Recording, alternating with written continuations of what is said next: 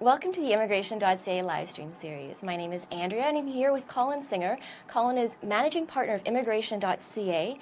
Immigration.ca is the, uh, the number one Google ranked site, and uh, Colin's also managing partner of SkilledWorker.com. So this is our last live stream of 2017. So it's only appropriate that we do a year in review of 2017. So starting off, what the main one of the main developments really would be the immigration levels.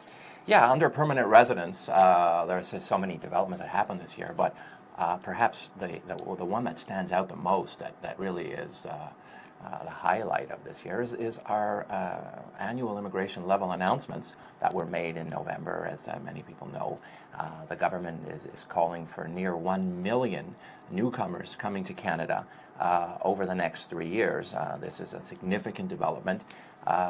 previously, the numbers were always in the be, before the Liberals came to power, it was always in the range of 250, 260,000. With the Liberals, when they came in in 2015, it went up to uh, 300,000. Uh, and now there's a, a, movement towards, uh, after a three year period going forward, they're looking to have 340,000. So this development on the permanent residence side, the annual levels, was, was quite a, a standalone um, development that's uh, going to have a major impact uh, uh, over the next three years in terms of government policies. Okay. So moving on to permanent residence, so I mean, obviously that's the main category, uh, and express entry. So the majority of skilled workers have been coming through express entry. So what are some some key some key issues with regards to that? Well, you know, before this year, there was uh, uh, a backlog of applications that uh, had had been holding over from previous years. But this year, really, we saw for the first time under the express entry system almost all the applications uh, are now coming through the federal uh, express entry system. Uh, the government had called uh, for, in 2017, uh, 73,700 um, immigrants coming through uh, the federal uh, system. Uh, that meant uh, a, significant increase in invitations. Uh, what we've seen though, so far this year, uh, near 90,000 invitations to apply have been issued. That compares to last year, there were 33,700, and the previous year to that, 2015, there were 31,000. So we've, we've near tripled previous years. Uh, with this year's invitations, we're, we're near, near the triple number. Uh, and, and people would wonder, you know, what, how does that relate? Uh, what, is, what is involved in that uh, number? Uh, what, what, what really happens is that the number of people who receive an invitation, there's a big drop off. The government knows this. there's a really big drop off that near only 40 percent of the uh, individuals who receive an invitation will actually perfect their application. So when you do the math, uh, another important component of, uh, of the whole uh, equation is that there's about 2.1 individuals per application. So when you take a look at the number of 90,000, you quickly do the math, only 40% will actually perfect their application and 40% uh, times 2.1 individuals, you're going to be into the 70,000 range. Uh, so that's those are the, the key numbers, uh, and we've seen really uh, very important numbers that have come through the system. Uh, we we had at the early part of the year uh, the annual the, the actual draws were, were near 3,000 per per draw, and in terms of CRS score, in May, the lowest CRS score of 413. Yeah, we've seen a really uh, that that particular score was was uh, early in the, in the season. Uh, we, we probably will see the same thing happening. Uh, perhaps uh, coming uh, in the coming year. But yeah, the lowest CRS score was 413 uh, at the end of May. Uh, and then you had, so you had this really big number of invitations issued in the first quarter. It dropped off in the second. Uh, and then you really had some interesting modifications that happened during the year. Uh, they introduced extra points for French language ability, uh, having a sibling in Canada. Uh, so those numbers had an impact on the CRS scores.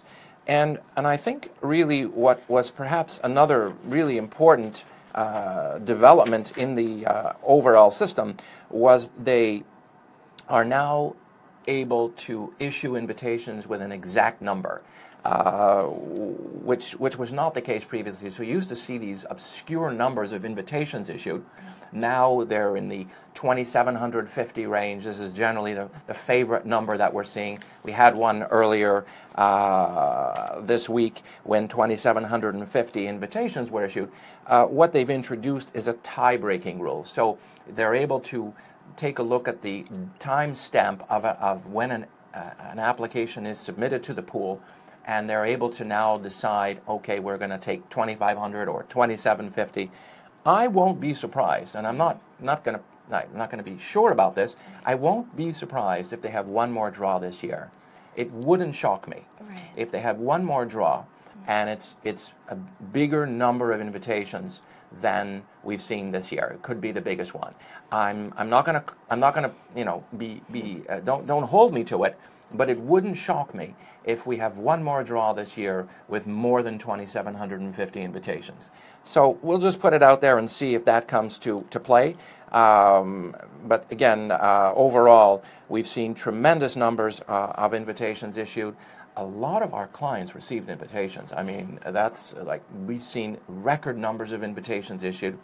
Um, so people living overseas having really uh, decent, good profiles. Uh, we've, we've just seen a lot of success this year with uh, a number of, of our clients.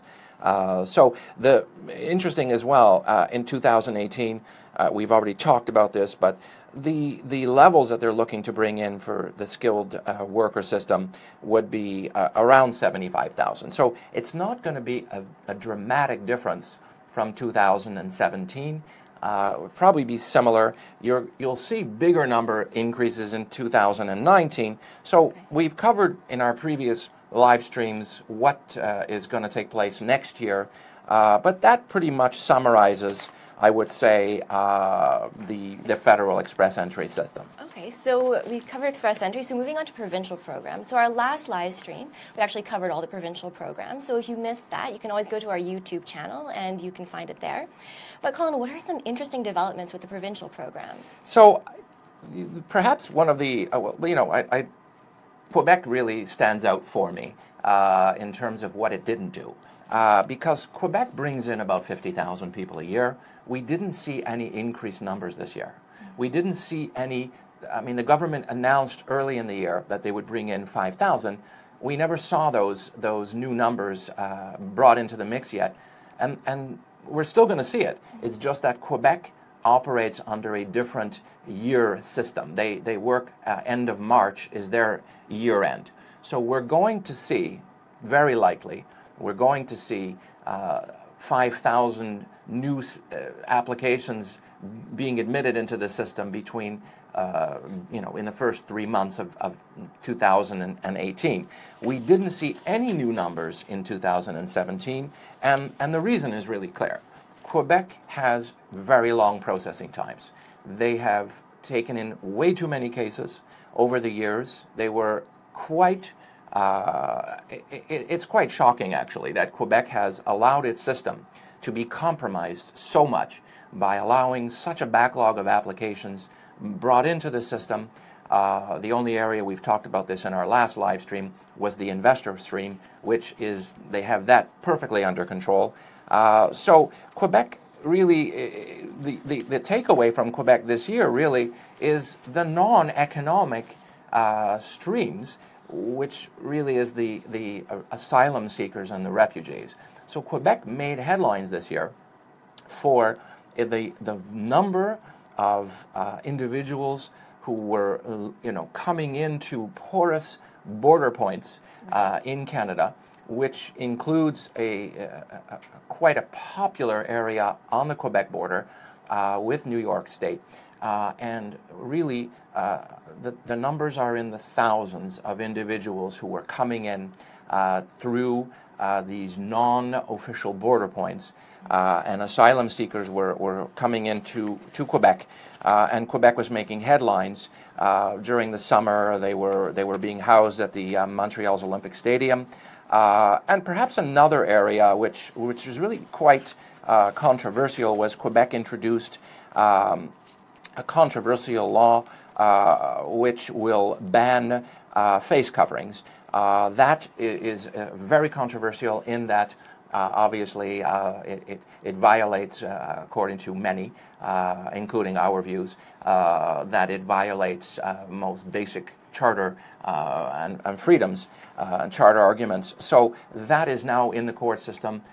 It, there was a presentation and a hearing was held uh, in uh, November, and everyone is waiting for a, a preliminary decision uh, on whether um, they will uh, be able to temporarily halt uh, the implementation of this law.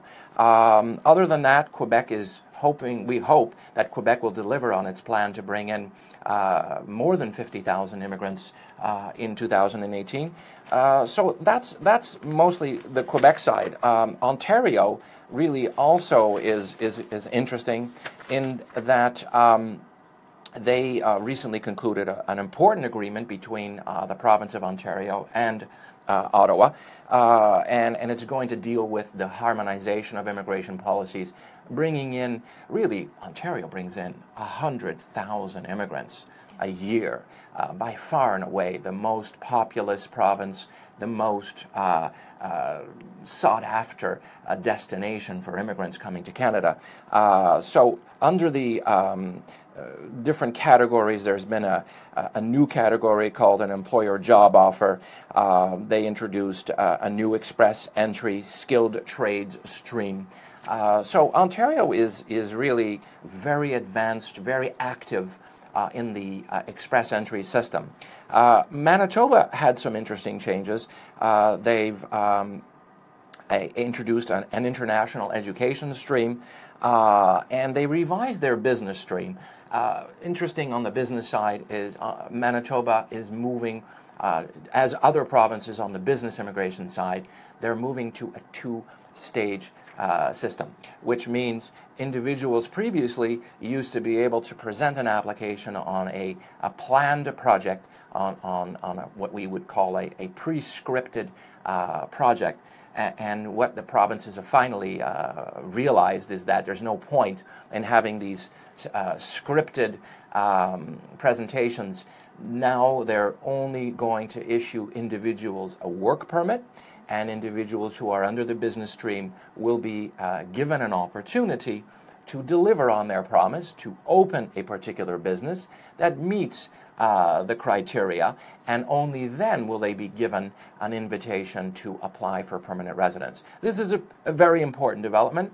Uh, in that most of the provinces are moving towards a two stage uh, process on the business side, and it will uh, significantly alter the landscape on business immigration. Uh, in that, individuals who probably were intending to go to uh, Ontario, British Columbia, Quebec, will now be more motivated to actually submit applications in those provinces. And they might, uh, obviously, will not uh, individuals will not use these smaller provinces like Manitoba uh, for a business application where they have no intention of fulfilling those kinds of conditions. So Manitoba, uh, you know, those, those are the hallmarks uh, of the Manitoba. Alberta uh, also was fairly active this year in terms of what they plan to do for, for 2018. Uh, they, they're introducing a new system, uh, a new express entry stream, um, and that replaces the employer driven uh, stream and the strategic recruitment stream. Uh, so, pretty much Alberta. Uh, they had 5,500 individuals coming to uh, the province. They filled their quotas earlier this month, and um, pretty much they're going to uh, continue forward, and hopefully uh, we'll see um, higher numbers uh, for, for the province um, in 2018. I think that covers most of, of the important developments uh, on the provincial side of, of permanent residence. Yeah. Uh, caregivers. Uh, well, as a lot of people know, there was a huge backlog with applications, so the government does plan on processing the majority of the backlog in 2018. Well, that's it. Uh, big numbers in the backlog, and that's been a problem for uh, individuals under the caregiver stream. The caregiver stream is, is really, used to be called the live in caregiver program. Uh, that doesn't exist anymore. The government uh, removed that and, and abolished it. Uh, but there were so many individuals in the stream, uh, and in 2016, they, you know, they're just pulling individuals from a. The, the stream had about 80,000 individuals waiting for permanent residence. Uh, so the government uh, brought in last year 22,000. Uh, this year they targeted 18,000 um, individuals. Uh, and uh, now and that includes applicants and their families. And in 2018, the, the plan is to bring in 80% of the remaining backlog. so individuals who are in that pool have something significant to look forward to. Family class. Very important in, in, October, actually. So the, the age of dependency was actually raised. So instead of being under the age of 19, now if your child is under the age of 22. It's an important change. Obviously, uh, the, um, uh, the, the realities are many families choose to come to Canada for their children. Right. And so under the previous government, that age of dependency was narrowed significantly. Uh, and what the Liberal government has done is put back the age of dependency to under age 22. Uh, and this is really going to impact a lot of families uh, who were looking to Canada uh, and, and, were doing this in order to bring their children, uh, you know, include them in an application. So on the family side, that uh, was a major development. And what about parents and grandparents? Well, parents and grandparents, uh, you know, 2017 was a, a, an interesting uh, development in terms of uh, there was a new lottery system that was introduced earlier this year. Uh, very controversial because uh, near 100,000 individuals were applying to get into the system uh, earlier in this year, early in, at the beginning of 2017 out of all of those individuals, uh, a number of, uh, they were supposed to invite uh, nearly um, uh, 10,000, I believe 10,000 uh, invitations were issued, but by the mid of 2017, only 700 individuals were, were able to perfect their applications. So this entire system where they've gone through this, we'll call it a charade, I would say, uh, that they've introduced a, a, new system, awakening the interest of 100,000 individuals who want to apply to bring in their parents and grandparents. Uh, all, all for so far 700 or maybe a little bit more now, 700 approximate uh, uh, individuals have now been able to, to take advantage of this program, which is far underperforming uh, for what it was designed to do. Uh, there's going to be uh, another, uh, we're waiting for, for 2018. Uh, they're planning to modify the system again. We don't know exactly what will take place.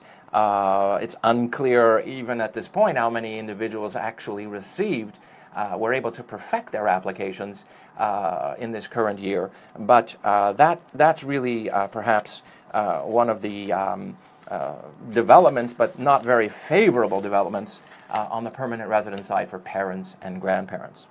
I think that brings us to citizenship. Yes, it does. So citizenship, I mean, there was some major developments as well. One of the major ones was a residency requirement. So instead of being present in Canada for four years in a six-year period, it became three years in a five-year period, which significantly you know, increases the time when you can actually apply for citizenship. Well, this is it. You know, Bill C6 uh, was introduced uh, in, in Parliament uh, in 2016. It took literally more than a year uh, for this bill to actually become a law. It became law this year in June. Uh, and uh, as you said, the most important point about citizenship is, is the uh, qualification period. Um, And uh, the other, perhaps another important element of citizenship is that individuals who are now in Canada on temporary status, whether you're studying in Canada or you're working in Canada, you now are able to count up to one full year uh, towards your three years of, citi- uh, uh, uh of qualification towards citizenship. So, uh, individuals who are living in Canada on a, on a study permit or, or on, a, on a working status, Uh, you are now able to count up to one full year uh, towards citizenship. Uh, so, that means you become a permanent, re- you apply for permanent residency, and the period of temporary status, uh, that period, even before you became a permanent resident, will count to some degree up to one full year uh, towards your eventual application for citizenship. Another important element is, is that uh, there's a, of course, there's a knowledge. Uh, a knowledge and a language test for people who, who are applying for citizenship. Previously, uh, under the older rules, applicants between the ages of, of 14 and 64 had to pass a language and a knowledge test. That is now changed in terms of the age requirements. It's now those between the ages of 18 and 54. Obviously, the difference, I mean, it was very harsh for individuals who were uh, in their 60s having to pass a knowledge and a language test. So the Liberals tempered down uh, this, this really uh, controversial requirement, uh, and it's going to certainly benefit uh, so many people. Uh, there are other changes. Again, I would encourage everyone who's sharing with us today to take a look at our website. We've prepared a very extensive document uh, on 2017 year in review. Uh, and there are many more changes that took place this year in citizenship, but we've just covered the most important ones. So, moving on to temporary workers. So, in temporary workers, we had the global talent stream that was introduced earlier this year in June. Uh, I think the most important point about the global talent stream, first of all, it's important for individuals to know it's not a program that you apply into. So, if you are an intending uh, immigrant to Canada, you can't apply into the global talent stream. It's really a tool for large employers, uh, predominantly in the technology field, uh, not only and not exclusively, but it's presently, there's been about 2,000 individuals who have been admitted to Canada. The hallmark of this system uh, under the global talent stream is that it, it really processes individuals in lightning rapid speed. So applications, if you are uh, in the right uh, individual with the uh, proper qualifications, uh, you can get to Canada in literally 10 days. So if you're a, an employer that wants to bring in individuals uh, to Canada, you might be able to take advantage of this new global talent stream. which is part of the temporary foreign worker program overall. Uh, so that, that's the major hallmark of, of that particular uh, new stream uh, that, that was introduced earlier this year. Uh, students? Students, uh, I guess the perhaps one of the more important elements about students is that there is now an, a, a, transition avenue for, for students who are looking to immigrate to Canada. you can see uh, a pathway under the federal express entry system, you can now earn uh, significant points uh, if you attend uh, post secondary education. Uh, obviously, uh, there's a, a, push by individual, by the government to bring in, in candidates who, who really have the skill sets to integrate well in Canada. And, and the thinking is, of course, if you've studied in Canada, uh, you have probably the language requirements, uh, you have a professional background, and you have uh, good ties uh, in terms of established relationships and such. So if you're a student looking to go to Canada, this year was very important uh, in that there's new avenues for you to permanently remain uh, in Canada. And perhaps in terms of the numbers of students, well over 400,000 uh, study permits uh, were issued in 2017. Uh, the government, we, we uh, understand, has plans to bring that up near 600,000 over the next three years. Uh, so that's really significant. Uh, again, if you're a student in Canada, as I just mentioned earlier, you can qualify for citizenship ultimately uh, by uh, getting credit uh, for your period of study in Canada prior to becoming a permanent resident. So students really uh, have been uh, targeted this year uh, under Canada's immigration policies. Um, perhaps, you know, we, we covered briefly the refugee stream, um, only mentioned the fact that uh, Canada is bringing in about 40,000, uh, we call them, you know, in the refugee stream. Uh, so that's a pretty robust number. What the number doesn't take into consideration is the, uh, let's call them irregular uh, asylum seekers that really dominated the headlines this year. Uh, earlier in the year, there was this uh, movement of, of 800 to 1,000 applicants per month coming through Manitoba, coming through uh, the province of Quebec predominantly. We're coming through the, the winter months. Uh, that really peaked during the summer period, uh, June, July. We started to see numbers start to move downwards really when the school season started. So you kind of there's a linkage between September, a precipitous fall in numbers per month of asylum seekers coming through these porous border points, uh, and the the thought is the numbers will increase, but not. It doesn't seem to be uh, along the same numbers uh, as last year uh, or this current year. The reason being, the government has made it clear. They've put out numbers if you're a, an asylum seeker and you're coming predominantly there, a lot of them were from Haiti. A lot of these applications were rejected. Most of them are rejected.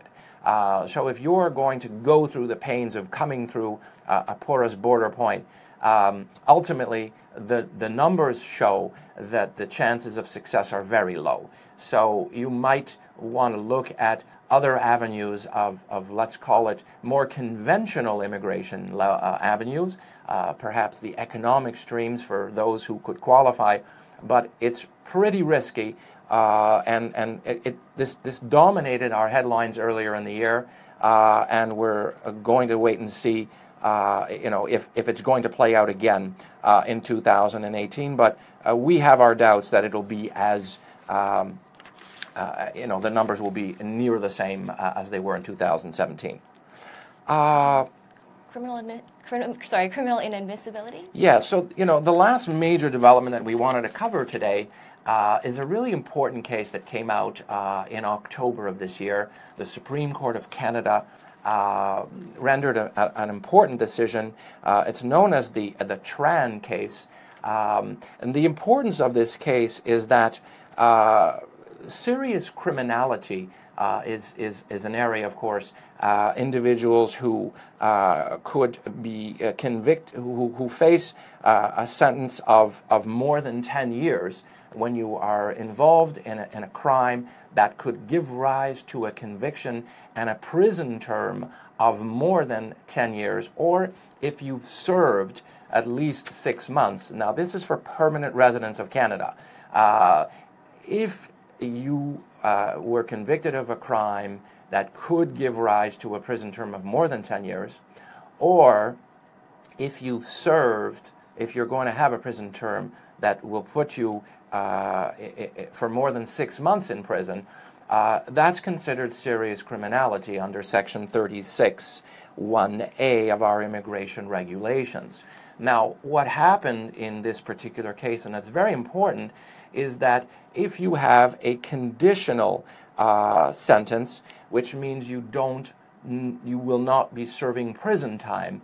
If you have a conditional sentence, that does not fall within the meaning of Section 36.1a. So it, that's an important development because immigration lawyers, criminal lawyers, uh, can, you know, individuals who've committed a crime uh, will now uh, look to judges to try to uh, uh, secure a conditional uh, sentence, uh, which means you would be serving in the community. You might have other uh, attachments to your sentence, but you would not, uh, hopefully, not be put in prison. Now, obviously, we're not talking about very serious crimes, but uh, there are crimes that are considered serious under our current rules uh, that uh, give rise to very short prison sentences. Still, they would be considered serious. If you have an attorney that can successfully plead your case and you only get a conditional sentence, which means you serve in the community and other elements, you would not be inadmissible to Canada for permanent residence. So, this is a really important case. Um, and uh, for more information on this, we cover this uh, in, in, a nice editorial piece on our website uh, for this month, December uh, 2017 uh, news developments. So that really um, highlights, I think, the most important uh, developments that took place this year. Right. Well, I mean, so you know, thank you very much for joining us. And if you're interested in coming to Canada, please do go to our website, immigration.ca. And you can complete our free online assessment. And obviously, if they want, if you want to read, as Colin mentioned, if you want to read more in detail about what we discussed today, you can go to the news section of our website. You know, I would also, uh, on a closing note, I would say, uh, you know, as we started off earlier in our in our session, the government is planning to bring in one million newcomers to Canada in the next three years. We certainly urge uh, those that have an interest in Canada, be one of them. Uh, complete an assessment questionnaire uh, that will render, uh, will evaluate for you for free, uh, no charge, uh, and perhaps you might be able to be one of those newcomers coming to Canada over the next next year. Yeah. So um, follow us. Follow us, please follow us on our social media, and we'll keep you up to date. The next live stream should be January 18th. I think we're gonna. Uh, the next date uh, is is the third week in January. Uh, January 18th, if it's a Thursday, it's going to be our next live stream. We have something really interesting planned for that particular session. So. So, well, thank you very much for joining us, and we wish you all a happy holidays. Safe holidays, happy holidays, everyone. Thanks for joining us. We look forward to seeing you soon.